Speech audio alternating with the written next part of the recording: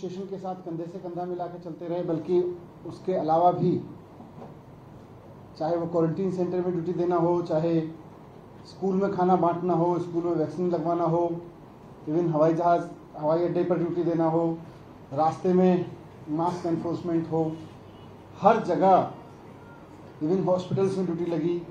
Teachers ने unprecedented काम किया इस पेंडेमिक के दौरान। और सिर्फ़ ऐसा नहीं है कि जिस टीचर की ड्यूटी लग गई, वो अब बस उस ड्यूटी में रह गए। जिन टीचर्स ने पेंडेमिक की ड्यूटीज़ की, उन सबने अपना मूल कर्तव्य भी बहुत शानदार तरीके से निभाया। उन्होंने अपनी पढ़ाई बच्चों की ऑनलाइन जारी रखी। वो भी एक ऐसे समय में जब अचानक ऑनलाइन टीचिंग उनके सर पे आ पड़ी थी, क्योंकि सब की, सबकी प्रैक्टिस ऑफलाइन टीचिंग की थी। खुद को भी एक्सपोजर नहीं था, बच्चों को भी नहीं था, उस सब के बीच ऑनलाइन एजुकेशन भी जारी रखी।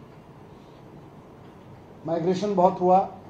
लोगों की जॉब्स कहीं, लोग एक कॉलोनी से दूसरी कॉलोनी चले गए, एक राज्य से दूसरे राज्य चले गए। वैसे में बच्चों को ढूंढ ढूंढ के लाने का काम टीचर्स ने किया। कई जगह ऐसा देखने को मिला कि लोग छत्तीसगढ़, महाराष्ट्र, बिहार वापस चले गए अपने। नंबर ढूंढा कुछ बच्चों ने जब ये कहा कि हम पढ़ाई छोड़ दे रहे हैं तो हमारे बीच में ऐसे भी टीचर्स निकले, जिन्होंने प्रिंसिपल निकले, जिन्होंने अपने स्टाफ के साथ बातचीत करके अपने खर्चे पर बच्चे को दिल्ली में रुकाने की व्यवस्था की, उसको टिकट दिया ट्रेन का, उसको यहाँ रुकवाया। ऐसे भी लोग निकले जो जहाँ टीचर्स ने जो काम किया, कि उन्हें पता चला कि उनके स्कूल के कुछ बच्चों के पास में, ऐसे तो हज़ारों उदाहरण हैं कि उन्हें पता चला उनके स्कूल के बच्चों के पास, किसी के पास मोबाइल तो है, लेकिन डेटा नहीं हो पा रहा, इसलिए वो ऑनलाइन क्लास नहीं जुड़ पाया। तो अपनी सैलरी से, अपने बच्चों की सैलरी से डेटा लोगों ने बच्चों के मोबाइल चार्ज कराए हैं। इतना महान कार्य टीचर्स ने किया है। इतना भी किया है कि परिवार में बात करके अपने स्कूल के सौ, डेढ़ सौ, दो सौ बच्चों के लिए उनका ज़िक्र मैं करूँगा। टैबलेट्स ला के दिए अपने बच्चों के लिए। तो ये सब ग्रेट वर्क हमारे टीचर्स ने किया है। और पेंडेमिक के समय में टीचर्स ने ये साबित किया कि टीचर्स का दर्जा जो गुरु का रखा गया है, और ये माना गया है कि जो कबीर ने भी कहा था कि गुरु गोविंद दो खड़े काके लागू पाए, बलिहारी गुरु आपने गोविंद दियो बताए तो पहले गोविंद से आगे भी गुरु को रखना है। ये सही मायने में हमारे टीचर्स ने उसकी भूमिका निभाई है। मैं शिक्षक दिवस के अवसर पर सभी टीचर्स को नमन करता हूँ और साथ साथ आप सबके सामने के माध्यम से बताना चाहता हूँ कि इस साल का जो टीचर्स अवार्ड रहेगा पाँच सितंबर के अवसर पर, वो भी विशेष रहेगा। टीचर्स अवार्ड में कुछ चीज़ें हमने चेंज की, क्योंकि पहले जो टीचर अवार्ड होते थे, वो एकेडमिक लेवल के परफॉर्मेंस पे ज़्यादा होते थे, और उसी पर फ़िल्टर होकर आते थे। तो हमने 2016 में एक बड़ा परिवर्तन किया था कि जो टीचर्स का अवार्ड बड़ा सादगी से एक डिपार्टमेंटल फ़ंक्शन के रूप में मनाया जाता था, हमने उसको बड़े ग्रैंड फ़ंक्शन में कहा कि जैसे हम टीचर्स हमारे स्टार हैं। तो उस तरह से करते रहे हैं। इस साल हमने 103 अवार्ड्स को बढ़ा के 122 कर दिया। साथ साथ में क्योंकि हर टीचर कुछ ना कुछ भूमिका निभा रहे थे तो पहले एक शर्त होती थी कि पंद्रह साल जिस टीचर ने पढ़ाया है, उसी को अवार्ड दिया जाएगा। तो एक तरह से पिछले पंद्रह साल के एक्सलेंस एजुकेशन में कंट्रीब्यूशन को अवार्ड दिया जाता था। पर पेंडेमिक के समय में तो सबने अलग अलग भूमिका निभाई। इसलिए इस साल हमने उसको ये कहा कि जो तीन साल से साथ में काम कर रहे हैं टीचिंग के सेक्टर में हैं, उनको ये अवार्ड दिया जा सकता है। गेस्ट टीचर को हमेशा ये माना जाता था, भाई गेस्ट टीचर्स को तो एक आध कोई अवार्ड दिया जा सकता है, लेकिन आमतौर पे नहीं होता था। हमने गेस्ट टीचर प्राइवेट स्कूल के भी कुछ टीचर्स को होता था, लेकिन बहुत कम। हमने guest teacher, private school teacher, permanent teacher, सबके लिए ये अवार्ड खोल दिया। साथ साथ में एक एकेडमिक बेस पे जब अवार्ड देते थे तो एक बड़ा चैलेंज रहता था कि एक स्कूल में तीन हज़ार बच्चे हैं और एक स्कूल में तीन सौ बच्चे हैं। तो ज़ाहिर सी बात है, जिस स्कूल में 300 बच्चे हैं, कुल मिला के, वहाँ के टीचर्स के पास में स्पेस नए प्रयोग करने का ज़्यादा है और वो हमेशा अवार्ड में आगे रहते थे। इसलिए इस बार हमने अलग अलग स्ट्रेंथ के हिसाब से स्कूल्स की कैटेगरी बना दी कि ढाई हज़ार से बड़े स्कूल, उससे नीचे स्कूल, उससे नीचे स्कूल, ताकि हर तरह का काम करने वाले टीचर को अवार्ड में अवसर मिल सके। दो तीन साल पहले हमने एक, मैं बहुत सरप्राइज़ इंस्पेक्शन पे जाता रहा और वहाँ मुझे बहुत अद्भुत काम करने वाले टीचर्स मिलते रहे। तो दो साल पहले तीन साल पहले एक अवार्ड शुरू किया था। इस तरह की मेरी सरप्राइज़ विज़िट में जो बहुत एक्स्ट्रा काम करने वाले टीचर्स मिलते थे, उनको हम आइडेंटिफाई करके अवार्ड देते थे, दो टीचर्स को।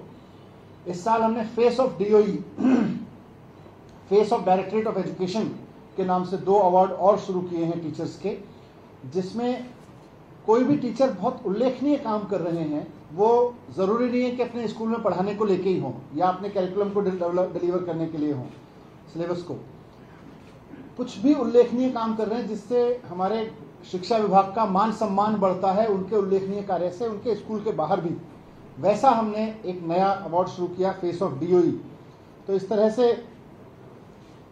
एक और रेस्ट्रिक्शन थी कि एक स्कूल से पहले ये था कि चार टीचर ही अप्लाई कर सकते थे। ये भी अच्छा काम करने वाले टीचर्स को मोटिवेट करने के दिशा में बाधा थी। तो इस बार वो रेस्ट्रिक्शन भी हटा दी कि आ, कितने ही टीचर एक स्कूल से अप्लाई कर सकते थे।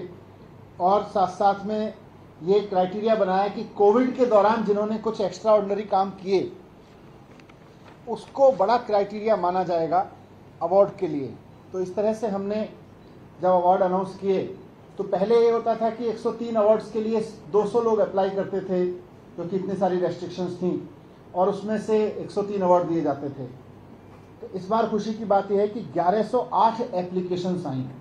और 1108 में से फिर हमने 122 अवार्ड्स हमारी कमेटीज़ ने सेलेक्ट किए हैं। तो मैं उन टीचर्स को जिन्हें ये अवार्ड दिए जा रहे हैं बहुत बहुत शुभकामनाएँ देता हूँ और कल इसका एक विशेष समारोह करके हम उनको सम्मानित करेंगे।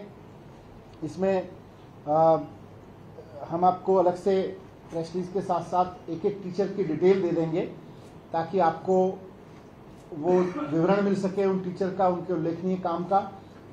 और उसके साथ, विवरण के साथ हम अलग से नंबर्स हम अपने मीडिया टीम को दे रहे हैं, अनिल जी और ललित जी वगैरह के पास में रहेंगे। तो आपको इन 122 टीचर्स में से किसी का नंबर चाहिए, आप नंबर ले सकते हैं। मैं जानबूझ के उनके नंबर्स पब्लिक डोमेन में नहीं दे रहा हूँ। पर पत्रकारों को अगर अलग से किसी विशेष टीचर का या कुछ टीचर्स का नंबर चाहिए तो वो हम आपको उपलब्ध करा देंगे, ताकि आप उनसे भी बात कर सकें। आप सबसे मेरी अपील यह है कि टीचर्स ने बहुत उल्लेखनीय काम किया है। तो अपने मीडिया के माध्यम से लोगों तक ये काम भी पहुंचाएँ और साथ साथ उनके प्रति एक सम्मान उनके प्रति एक आभार भी कल अगर अखबारों में टीवी चैनल पे देखने को मिले तो और उनका मान सम्मान बढ़ेगा उनके वो बढ़ेगा। आ, उनका आ, उनको हौसला बढ़ेगा। जो मैंने दो फेस ऑफ़ डीओई अवार्ड मैंने बोला था आपको दो टीचर्स जिनको इस बार face of D O E पहली बार face of D O E award के लिए चुना गया है उनमें से एक का नाम तो आपने बीच में भी सुना होगा।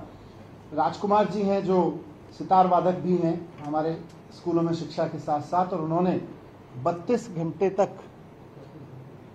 32 घंटे 20 मिनट तक लगातार सितार बजा के गिनीज बुक में अपना नाम दर्ज कराया है। तो हम शिक्षा विभाग की तरफ़ से फील करते हैं कि राजकुमार जी का ये रिकॉर्ड हमारे लिए भी बहुत मान सम्मान का विषय है, हमारे शिक्षा विभाग के लिए मान सम्मान का विषय है। इसलिए फेस ऑफ़ डीओई के तहत उनको भी इस बार हम स्पेशल टीचर अवार्ड दे रहे हैं इस वर्ष का। और साथ ही एक और हमारी टीचर साथी हैं सुमन अरोड़ा जी। ये सुमन अरोड़ा जी के बारे में भी हमें पता चला। ये दिल्ली के आईआईटी से पास आउट हैं और उसके बाद में फिर इन्होंने कुछ समय यूनिवर्सिटीज़ में पढ़ा के स्कूल में टीचर बनने का फैसला किया और काफ़ी लंबे अरसे से हमारे साथ टीचर के रूप में काम कर रही हैं। मैथमेटिक्स की एक्सपर्ट रही हैं। और ये अपने इनिशिएटिव से, ऐसा नहीं कि गवर्नमेंट ने कोई इनिशिएटिव लिया, क्योंकि खुद आईआईटी से हैं तो अपने बच्चों को कॉम्पिटिशन्स की तैयारी कराती रही हैं और इनके पढ़ाए हुए तेईस बच्चों ने पिछले साल जेई मेंस और पाँच ने जेई एडवांस क्लियर किया। ये इनकी बहुत बड़ी उपलब्धि है और सिर्फ़ इतना नहीं, बल्कि ये अपनी सैलरी का एक हिस्सा रिज़र्व रखती हैं ऐसे बच्चों के लिए जो कंपटीशन की तैयारी कर रहे हैं। और अगर उनको कुछ फाइनेंशियल ज़रूरत पड़े तो वो अपनी तरफ़ से मदद करती हैं, अपनी सैलरी में से सेविंग करके। तो इसलिए सुमन अरोड़ा जी को भी फेस ऑफ़ डीओई के अवार्ड से सरकार सम्मानित कर रही है। इसके अलावा जो स्पेशल अवार्ड मैंने कहा दो, जो मुझे अलग अलग विजिट्स के दौरान टीचर्स मिलते हैं, विशेष काम करते हुए, उनका भी मैं ज़िक्र कर देता हूँ। भारती कालरा जी हैं, हमारी एक वाइस प्रिंसिपल हैं, एक स्कूल में रोहिणी के। उनके स्कूल में भी जैसा ज़ाहिर है सब लोग फेस कर रहे थे, बच्चों के पास में टैबलेट्स या मोबाइल फ़ोन की दिक्कत हो रही थी। तो ये बात उन्होंने अपने घर पे की और उन्होंने अपने परिवार के साथ मिलके और परिवार के बच्चों ने, अन्य लोगों के साथ मिलके 321 बच्चों के लिए मोबाइल वो जो टैबलेट्स हैं, वो उपलब्ध कराए ताकि उनकी ऑनलाइन क्लासेस अच्छे से चल सकें। बहुत उल्लेखनीय काम किया। और जैसा मैंने कहा कि बहुत सारे लोग इधर से उधर शिफ्ट हुए कोविड के दौरान। कोई झुग्गी में यहाँ रहता था, फिर उसका किराया बंद हो गया, उसका, उसकी आमदनी बंद हो गई, वो कहीं और चला गया, उसकी नौकरी छूट गई, वो कहीं और जाकर रहने लगा। तो हमारी एक टीचर हैं, रानी भारद्वाज जी। इन्होंने कोरोना के दौरान ऑनलाइन क्लासेस जब लेनी शुरू की तो इन्हें पता चला, इनके कुछ बच्चे ऑनलाइन नहीं आ रहे हैं।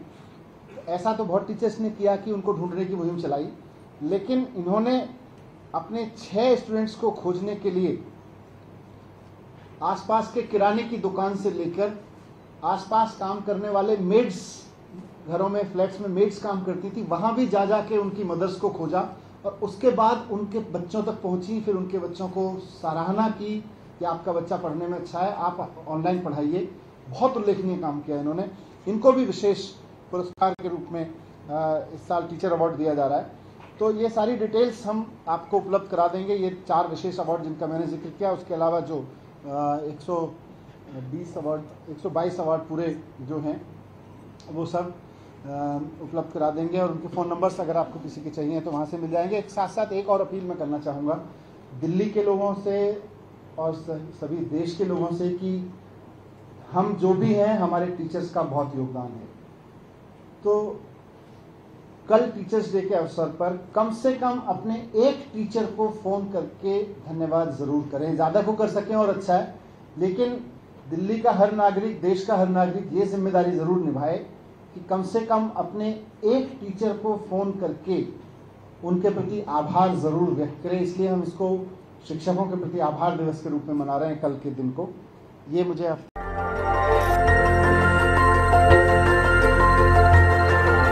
देखते रहिए डीबी भारती समाचार नज़र हर खबर पर।